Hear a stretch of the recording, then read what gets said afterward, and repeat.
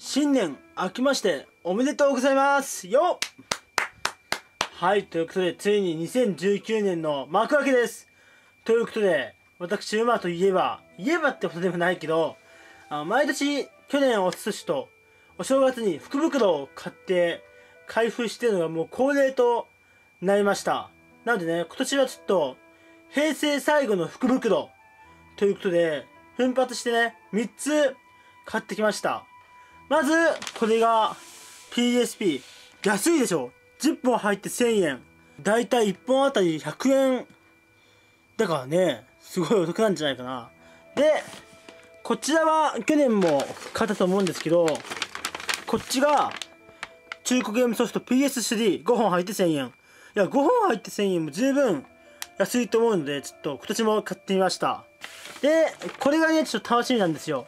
3DS の福袋ちょっと紙がもう取れちゃってないんですけど 3DS の福袋が今年はあったのでそれを買いました。なんでね今年はこのゲームの福袋3本を開封していきたいなと思います。まあ、3つ動画は分かれると思うんでそれぞれの動画を見ていただけると嬉しいです。では早速いきましょうか。えまずどれいこうかな。じゃあまずはやっぱ 3DS からいっちゃおうか。3DS の開封。はいドン。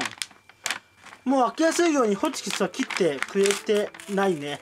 ちょっとビビになっちゃうけどまあいいかも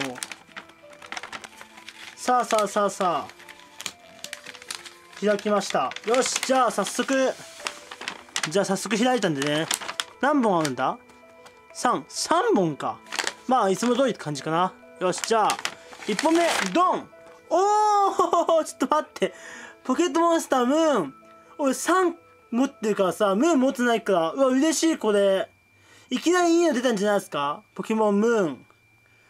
うわー、まあ、ウルトラサンウルトラムーンじゃないのがあれですけどでもいきなりいいスタートじゃないかこれは。やったー！3ムーン両方ゲット。ちょっと3はね途中で 途中で放置してしまったのでムーンはクリアしたいですね。やったー！いいんじゃないですか？ポケットモンスターの世界へようこそ。モンスポケモンをモンスターボールで捕まえよう。仲間にしたポケモンは使い中の友達と対戦交換できる。と書いてあります。いっぱいでねモクロとか私モクロ好きなんでモクロのクッション持ってるくらいには好きなんで足回りとかニャビーだっけ？とかいますね。わーいいね。ロトムズ感もいるし。よし。じゃあ2本目いきます。2本目はこれだ。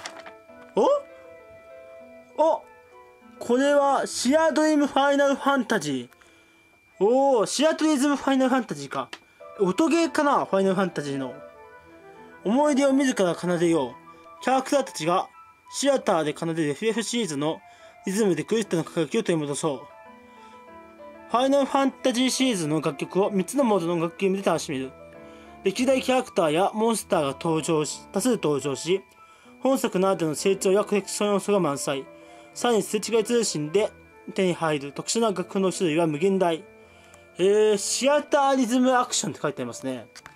俺ファイナルファンタジーやったことないんでいつもドラゴンクエスト派だったんででもいきなり初のファイナルファンタジーがこんな音ゲーってのもちょっとあれですけどえー、やっていこうこれも気になる。